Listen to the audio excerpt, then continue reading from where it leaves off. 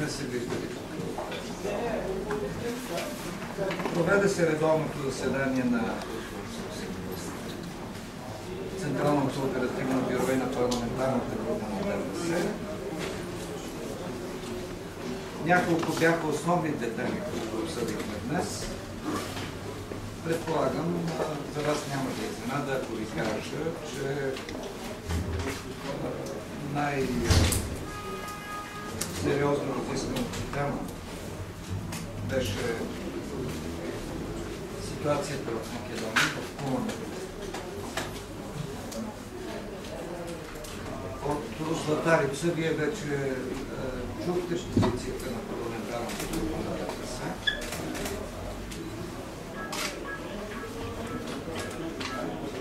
Ние смятаме, че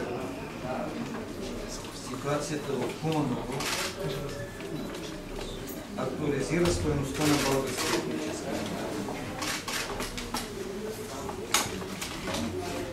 и актуализира още една много важна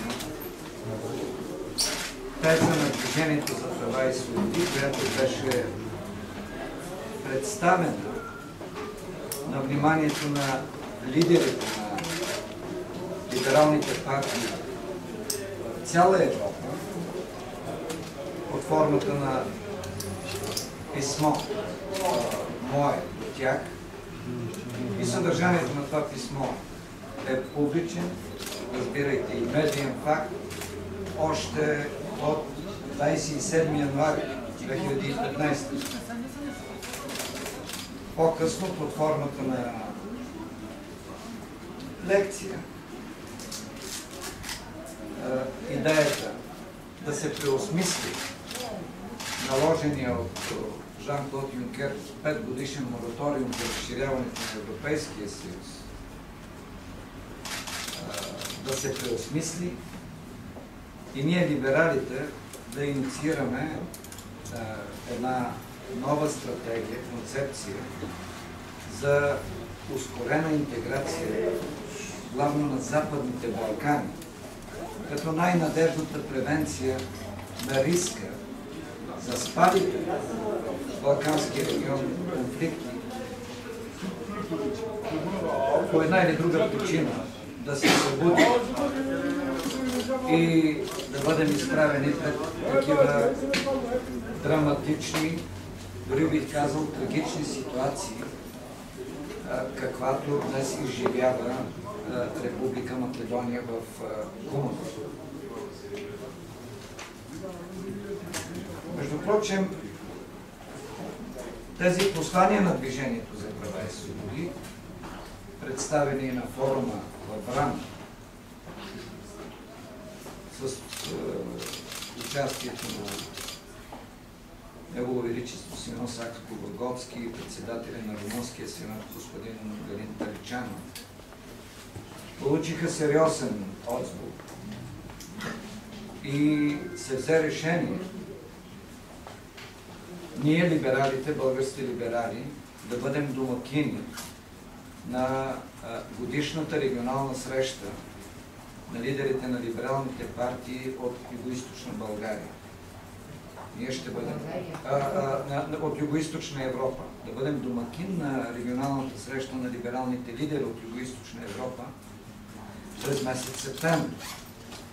Амбицирани сме на този висок форум всички тези идеи да ги всички тези идеи да ги трансформираме в проект за резолюция, която да стои на вниманието на АЛДЕ и оттам евентуално да се превърне в тема и в Европейския парламент. Поделям всичко това, защото може би и вие да сте регистрирали известно съвпадение в идеите, които вчера се чуха на един друг форум, организиран от БСП и ПЕС, тук в София. Смятам обаче, че тезата на Движението за права и свободи за необходимостта Западните Балкани наистина да бъдат ускорено интегрирани в Европейския съюз, придобива нова сила предвид на събитията в Кулна. И аз мисля, че решенията за налагане на мораториум, за отмяна на мораториум и за разширяването не трябва да се взимат във връзка с оценката ни за една или друга властова конъюнктура, в която и да е балканска страна. Защото интеграцията не е заради министър-председателите или заради правителствата на тези страни. Интеграцията е заради гражданските общества на тези млади демокрации. Този регион не може да, да стои в сивата зона между Запада и Изтока. Западните Балкани в близка перспектива трябва да станат част от общото цивилизационно поле на Европейския съюз и на евроатлантическия свят. Разбира се, събитията в Куманово, наред с това, актуализираха и стоеността на българския етнически модел. Нашият модел, изграден с активното участие на Движението за права и свободи, е альтернативата на гражданските конфликти. Аз ще оставя без коментар. днешно изстъпление на лидера на реформаторския блок, защото казаното от него в Велико Търново трудно може да се възприеме като отговорна политическа позиция.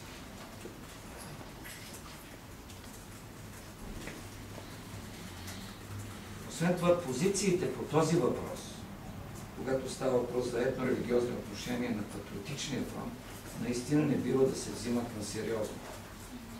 Извинявам се. Аз казах патриотичния фронт. Ама не случайно. Не, грешката е вярна. Аз не съзирам разлика в позициите на реформаторския блок и на патриотичния фронт, когато става въпрос за етно-религиозни отношения. А, няма, но говоря за реформаторския блок. И тези на патриотичния фронт, които са едно, не трябва да се взимат на сериозно, минимум защото на тях явно им се губи базова компетентност по тези отношения, за тези отношения. Например, е абсолютно нелепо да се твърди, че в Македония се бил провалил точно български етнически модел. Не. Македония нямаше да има тези проблеми, които изживява днес, ако там се беше разгърнал български етнически модел. Но, а, вероятно, това е тема на а, друг формат, а, в който е полезно да се обясни разликата между български етнически модел и ситуацията в Македония, в Косово, в Албания, в Босна и Херцеговина. Аз мисля, че Западните Балкани, именно защото не успяха да изградят български етнически модел, преминаха през кървави конфликти и за съжаление такива наблюдаваме и а, днес.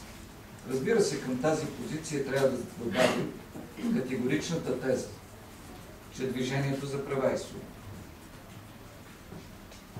се разграничава решително от едни много странни гласове, които от вчера насам се чуват относно бъдещето на Македония.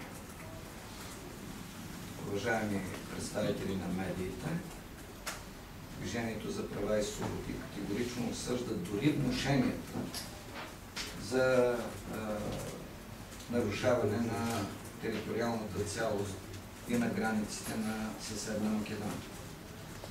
Не. Ние сме за суверенна Македония, която да се развива като демократична държава, в която ще бъдат спазвани правата на всички мълцинства